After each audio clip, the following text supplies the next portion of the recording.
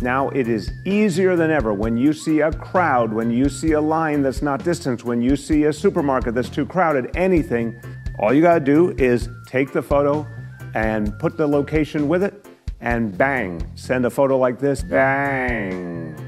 And we will make sure that enforcement comes right away. Text the photo to 311 692 and action will ensue. And that's how the cookie crumbles. Mayor de Blasio of New York City's social distancing tip hotline has been flooded with penis photos, memes, and, well, pictures of a man from World War II who is very bad. Hello, everyone. This is Mr. Obvious, and today on the New York Post. So, we're here with Mayor de Blasio the absolute fool who's been in charge of New York. Now, something really funny happened. As you all know, de Blasio recently started a new initiative to help promote social distancing. Well, it's easy. If you see a crowd, if you see people outside, all you gotta do is call Big Brother. And Big Brother will send men in uniforms with shiny badges to come beat you with a stick. Yes, it's only communism in de Blasio City. So, this is a hilarious story and one I am pleasured to bring you. Here you can see. Mayor de Blasio's critics let him know how they really felt about him ordering New Yorkers to snitch on each other for violating social distancing rules by flooding his new tip hotline with crank complaints, including pictures of private parts and people flipping the bird. The Post has learned.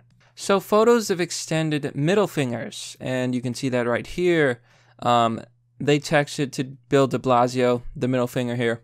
I, I like how this guy, like, he didn't do the full middle finger. I'm not sure why. Maybe he just snapped the photo too soon, but man, you gotta, you gotta hold that hand large and proud, man.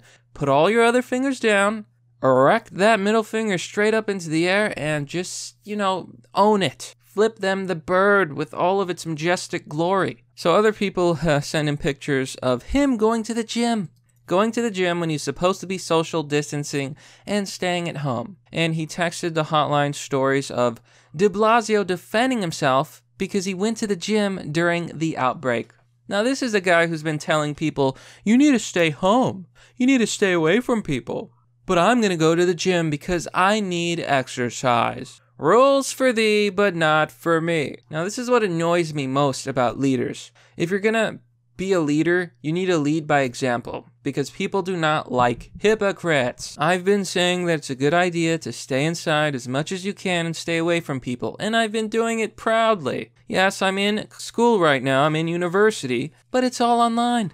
Wow. Look at the message that they send you when you text the tip hotline. It says, Hello, and thank you for texting NYC311.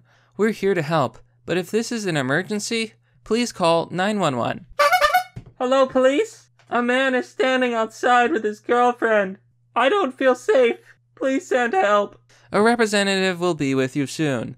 You can text the word COVID to 692 692 to get the latest updates about coronavirus from Notify NYC. New York City. Okay, that's hilarious. That's funny. That's actually really funny. So another person sent him the message, we will fight this tyrannical overreach. Now here's the funny part. They said, F you, replied at Morgan L. Schmidt, along with a meme showing a certain man, a certain bad man from World War II, with the words, to those turning in your neighbors and local businesses, you did the right thing. oh, do I love those puns. Start flooding the reporting text numbers with those pics, the tweet added. Now, yes, a lot of people are comparing him to authoritarians in our history because this this is essentially what that is. Like, if you're gonna have some sort of uh, statewide quarantine, you need to do it seriously. Like, go all the way or go home. Either it's an emergency or it's not. You know, you're sending mixed messages. But you know, there is such a thing as going too far.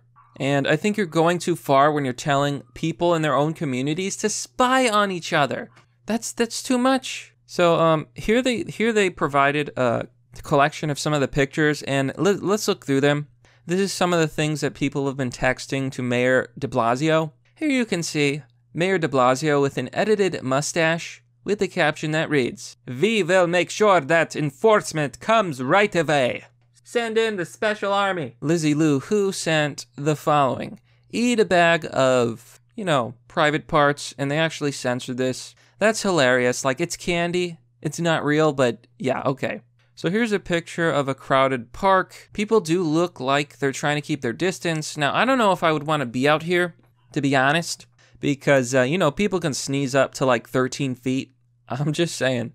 Okay, so here's a good one that shows hypocrisy, right? You see Mayor de Blasio's message to tell everyone to spy on everyone, and then you see him here on April 17th in a public place full of people. What a moron. I think that's that's it, dude. He's just a moron. And of course, someone texted him, Don't tread on me. Now, one of the funniest things about this entire debacle is that so many people were flooding the hotline with memes and jokes and pictures that it crashed. Here you can see. Flood of prank messages caused New York City's coronavirus snitch number to briefly shut down. So it got flooded with so many memes bashing Mayor de Blasio and bashing this spying snitch hotline that it completely and utterly crashed. City Hall confirmed that the 311 text line was shuttered to clear out a backlog of crank complaints. The issue has been resolved, but it is not a technical issue on 311's part. Mayor spokeswoman Olivia Lapiroli said. An NYPD source said that the dick pic photos of real live penises have also been texted to 311, and a caller phoned in a tip that de Blasio was seen performing oral sex someone in an alleyway behind 7 Eleven early Sunday. He looked at me and coofed in my direction. The caller said, according to a photo of the 311's operator's computer screen provided to the Post. Coof is a newly coined term for coughing while infected with the coronavirus, according to the Urban Dictionary website. I have the coof.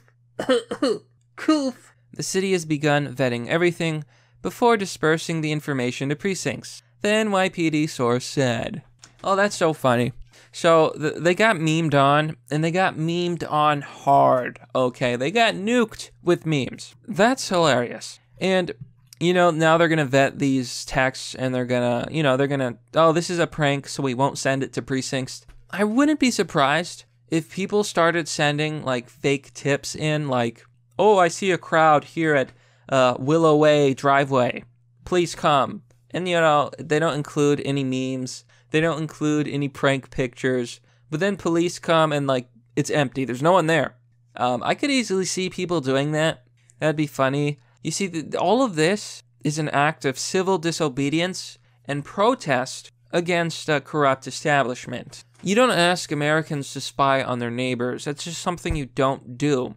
If you're going to enforce a quarantine, enforce a quarantine. Otherwise, that's not the way to go about it. It's not it's not good for society and it's probably not going to work anyway. People who are going to call the police are going to call the police regardless. You know, you always have those, the snitches of society. That's why I don't like journalists. To me, the journalist was always the goody two shoes in class, you know, the teacher's pet who told them anytime something happened and basically spied on all fellow students. That's a journalist. Nosy, egotistical, and self centered. You're always going to have those people. But in this case, asking Americans to send snitch tips on other Americans couldn't have ended in any other way. But you know what, my friends? That's merely the obvious. Well, that's all for now, folks. What do you think about this story? I find it absolutely hilarious that de Blasio's hotline is getting memed on. But let me know what you think. Now, as always, if you like this content and want to support the channel, you can join me on Patreon or Subscribestar. I have a donor box link for donations and a Bitcoin address if you want to donate cryptocurrency. One of the best things you can do in these trying times is simply to share the video with your friends on social media and online. If you're new to the channel and you like this video, be sure to like it, leave a comment, and subscribe and hit the bell button for notifications for new uploads. Anyhow, Thank you for watching. Have a wonderful day. I'll see you all next time.